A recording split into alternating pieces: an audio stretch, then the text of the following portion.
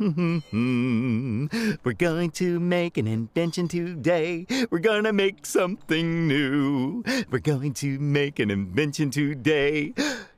I'm not gonna make any stew.